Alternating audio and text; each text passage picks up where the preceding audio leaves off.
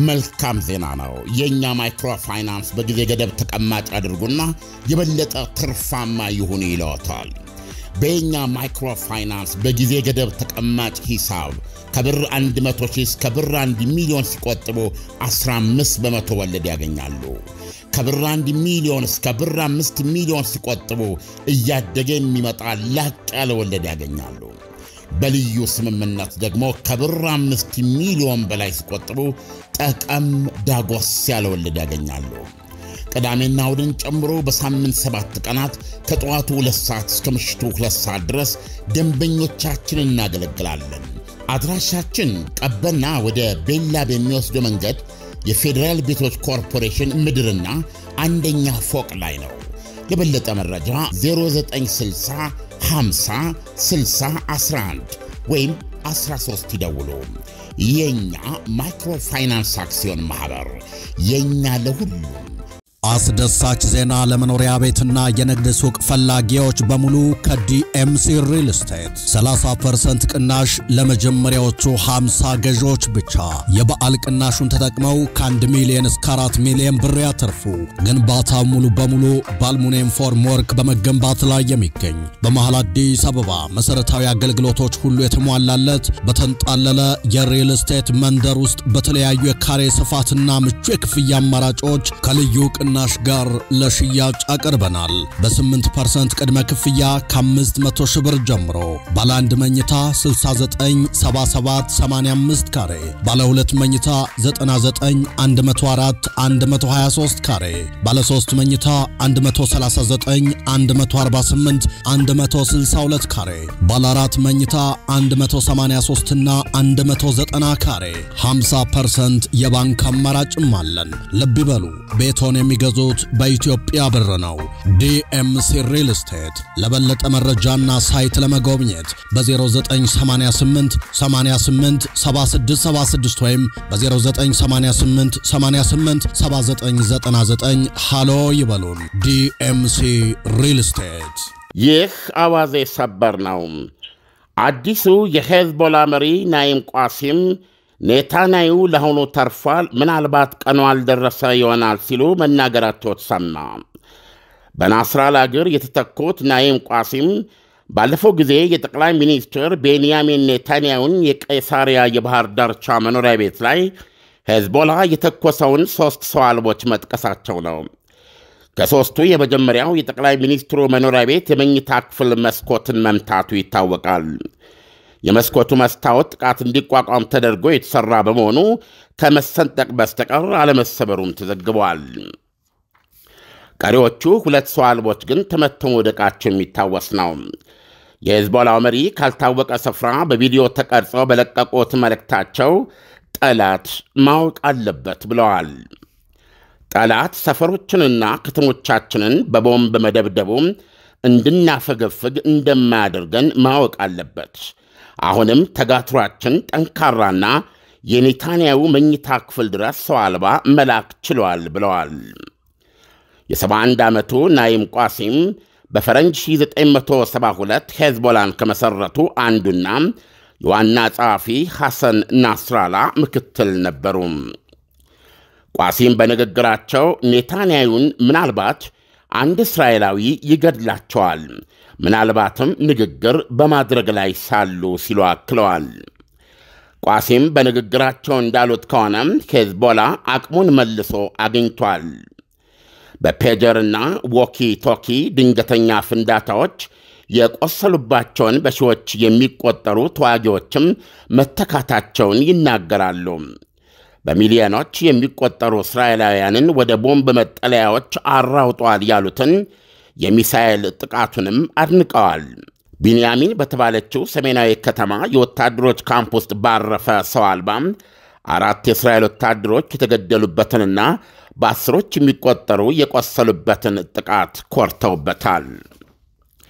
አዲሱ የሄዝቦላ መሪ ትኩረታቸውን ሊባኖስ ውስጥ ለሚገኙ ደጋፊዎቻቸው በማዞር ሲናገሩ መሥዋዕትነታችሁ ዋጋ አለው ትንሽ ጊዜ ብቻ ታገሱን ብለዋል።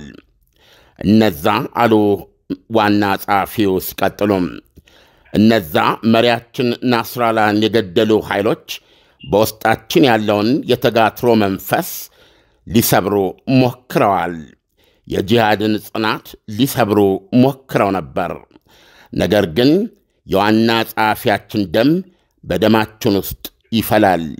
በመንገዳችን እንድንቀጥል ቁርጠኛነታችንን ያፈረጥመዋል ብለዋል። በሌላ ዜና በእስራኤልና በሊባኖስ መካከል በሄዝቦላ ጋር የሚደረገውን ውጊያ ለማቆም ሄዝቦላን የሚያጠቃልል ድርድር ሊካሄድ መሆኑ ተዘግቧል።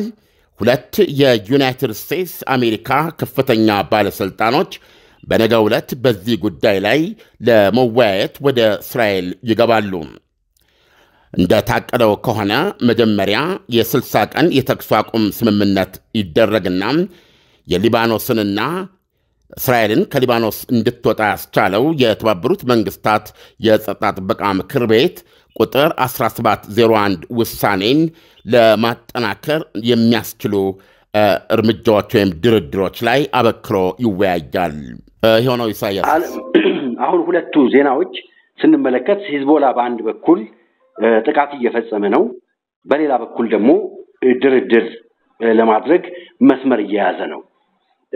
የሂዝቦላ መሪ ካልታወቀ ቦታ ሲባል ተሸሽገዋል ማለት ነው እና ሁለቱ አይጣሉም ወይ? ዜናዎቹ ሀሳቡ በራሱ ማለት ነው። አንዱ አንዱ ነገር ይሄ ተኩስ አቁም ድርድር መስመር ይዞ አሜሪካ በነገው ዕለት ሁለት ባለስልጣኖቿን ወደዚህ ለመላክ የቻለችበት ምክንያት አንዱ ብሬት ማክገርክ የሚባሉ ናቸው። የጆ ባይደን የመካከለኛው ምስራቅ አማካሪ ሲሆኑ ሌላኛው ደግሞ የክልሉ ልዩ ልዑክ ናቸው። የጆ ባይደን አሞስ ሆችስቴን ይባላሉ። ይሄ የተባለው የተኩስ አቁም ድርድር ራሱ መሰረቱ መሰረት የሆነው ሄዝቦላ ከመጀመሪያ ኦክቶበር 8 ተኩስ መክፈት የጀመረበት ጊዜ ነው። የጋዛውን ጦርነት በመደገፍ ወይም ሐማስ ላይ እስራኤል ሙሉ ክንዷን እንዳታሳርፍ ኃይሏን በሁለት ቦታ ለመሰንጠቅ ያደረገው ውጊያ ነው እና ያንን ተከትሎም የጋዛው ጦርነት ካልቆመ በስተቀር ምንም አይነት ድርድር እንደማይቀበል የነበረውን አቋም ቀይሮ አሁን ከጋዛ በተለየ ድርድር ውስጥ ለመግባት ፈቃደኛ በመሆኑ ነው። ይህንን የሚያስታወቁት እኚሁ ሰው ናቸው። አሁን በሄዝቦላ መሪነት ከመመረጣቸው በፊት ሁለት ጊዜ ንግግሮች አድርገው ነበረ፣ ሁለቴ ወይ ሶስቴ። ከእነዚህ ንግግሮች በአንዱ ነው እና ሄዝቦላ ለተኩስ አቁም ዝግጁ መሆኑን ከጋዛ ጦርነት ጋር ባልተያያዘ በቀጥታ ለተኩስ አቁም ዝግጁ መሆኑን የተናገሩት አሁን በዋና ጸሐፊነት አሉ ማለት ነው። ይሄ እንግዲህ የሚያሳየው የተከፈተው እስራኤል የከፈተችው ዘመቻ አንዱ ውጤት ተደርጎ ሊታይ ይችላል። ሁለተኛው ይሄ ድርድር እንዲካሄድ በአሁኑ ሰዓት ሁለቱ የአሜሪካ ባለሥልጣኖች የሚመጡት እንግዲህ እስራኤል ከሄዝቦላ የተተኳሽ ክምችቶች፣ የሚሳኤል ክምችቶች፣ የሮኬት ክምችቶች ውስጥ በአሁኑ ሰዓት እጁ ላይ አለ ብላ የምታምነው 20 በመቶ ነው።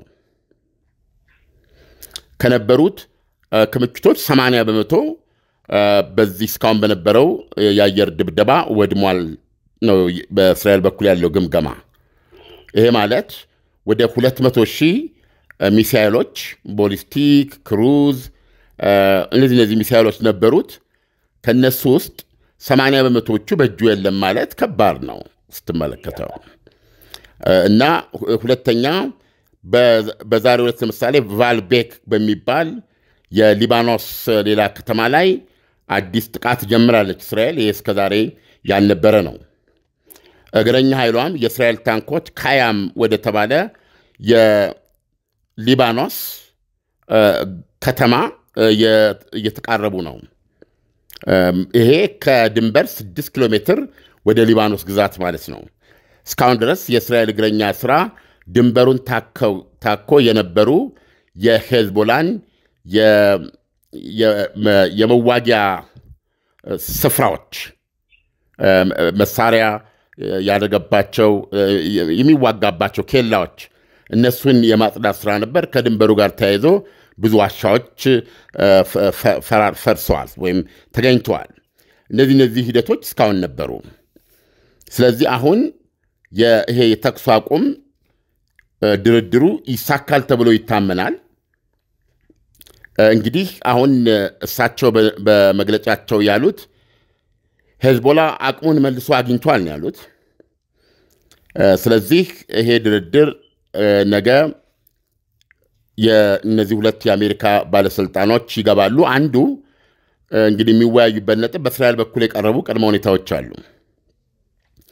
እስራኤል ስምምነቱ ከዚህ በፊት የሚለው የ1701 ደቡብ ሊባኖስ ከማንኛውም መንግስታዊ ያልሆነ ኃይል ነፃ እንድትሆን ነው። እና ቦታው በሊባኖስ ወታደሮች እና በሰላም አስከባሪ ኃይሎች የስምምነት ደግሞ መከበሩን የሚያረጋግጥ አቅም ያለው ስልጣን ያለው የተባበሩት መንግስታት ወይም የሆነ ኃይል መግባት አለበት እና ሄዝቦላ ደግሞ ያው ደጋግመን እንዳልነው 30 ኪሎ ሜትር ከድንበር ርቆ ከሊታኒ ወንዝ ባሻገር ይቀመጣል ማለት ነው። ይሄ እስራኤል ከጦርነቱ በፊት ስታቀርብ የነበረው ጥያቄ ነው። ይሄ አንድ ነገር በእስራኤል በኩል አንድ ነገር የሚያመጣው ምንድን ነው? ድንበር ላይ የሚኖሩ የሰሜን ድንበርተኛ ነዋሪዎቿ ከ62 ሺህ አያንሱም። እነዚህ ነዋሪዎቿ ወደ መኖሪያቸው ይመጣሉ። ከማናቸውም ጥቃት ነፃ በሆነ የሆነ ሰላማዊ ህይወት ይኖራሉ ማለት ነው። አሁን እስራኤል ማነው ሄዝቦላ የሊባኖስን ድንበር ታኮ በነበረበት ጊዜ እስራኤል እንደምትወነጅለው ገሊላ ከተማ ውስጥ ሐማስ ያካሄደውን አይነት የኦክቶበር ሰባት አይነት ጥቃት ለማካሄድ ዝግጅቶች ነበሩት ነው የምትለው።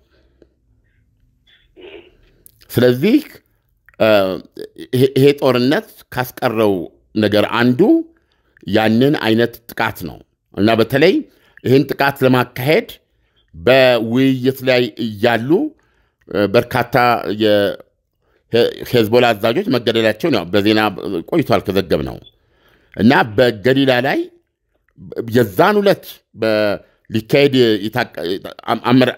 እቅድ ለማውጣት ነበር የተቀመጡትና ወዲያውኑ የሚካሄድ ኦፕሬሽን ነበረ። ገሊላ ውስጥ ገብተው ልክ ያው የኦክቶበር ሰባት አይነት ጥቃት።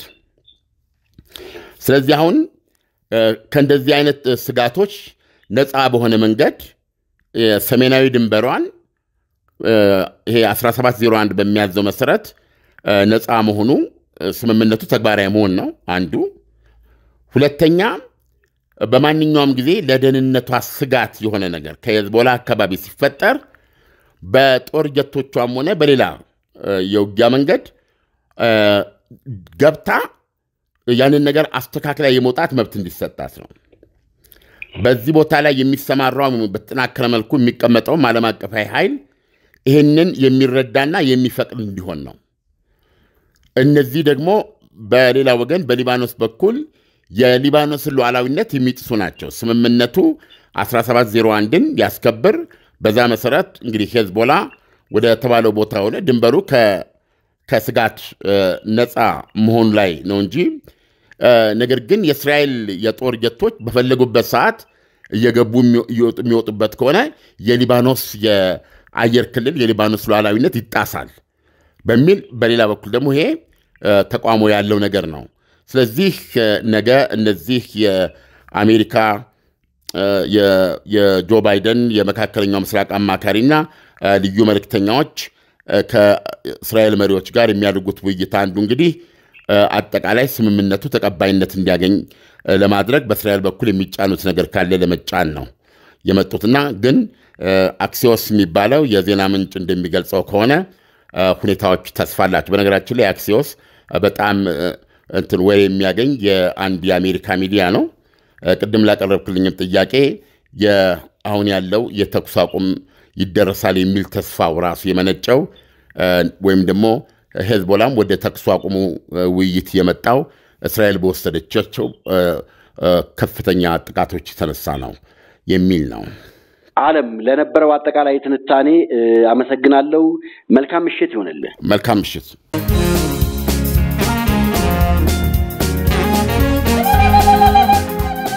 ልጅ ፈተናውን አለፈ። አለፈ? እንዴት? ዘመድ አለው ይኸው የማይቀየር የማይለወጥ ከዘመድም ዘመድ ኤክስትሪም book series ላለፉት 12 ዓመታት ተማሪዎችን ለፈተና ብቻ ሳይሆን ለስኬት ያበቃ መጽሐፍ ኤክስትሪም book series ዘንድሮም በራሱ የህትመት ቴክኖሎጂ ታትሟል። በጥልቅና በዝርዝር ነጥቦች የተሞሉ በማሳያ ምሳሌዎች የተዋቀሩና የተዘጋጁ በመሆናቸው በሁሉም የትምህርት ደረጃ ለትጉሃን ተማሪዎች አስተማማኝ መሠረት ናቸው። ኤክስትሪም book mathematics፣ physics፣ chemistry፣ biology፣ history፣ geography፣ economics፣ English፣ general science ና citizenship መጽሐፍቶችን ለተማሪዎች አቅርበናል። በሁሉም የመጽሐፍት መደብሮች የልጆቹን ታላቅነት የሚሻ ወላጅ ዕውቀትና ጥበብን ያወርሳል። ኤክስትሪም book series